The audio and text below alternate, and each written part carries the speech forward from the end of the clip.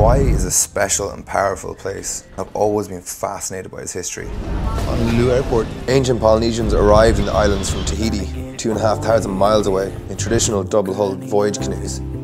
Those Polynesian wayfinders were like ancient astronauts, completing incredible voyages of discovery. Look who's here! Daniel at the wheel. Baby, take a look at it. Many blankets. Blankets. Yeah. In the airport. No one. Dan Skajarowski's like an absolute legend. He's one of the most underground big wave chargers in, in Europe, in my opinion.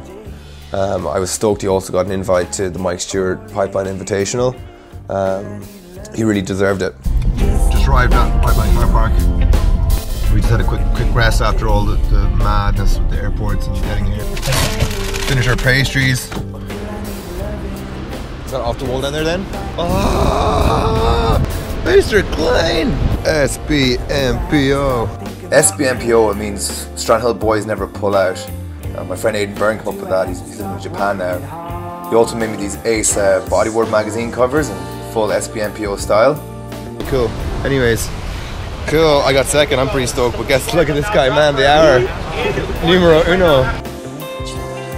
I was stoked my heat, but Dan did amazing in his first heat.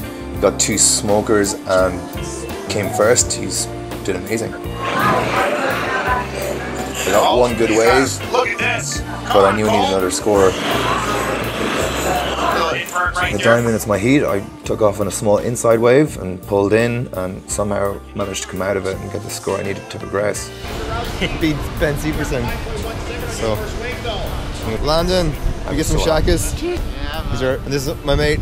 He's killing it this morning. In my next heat, I was feeling a bit more pressure up against three Hawaiian competitors. I got one good wave about midway through my heat.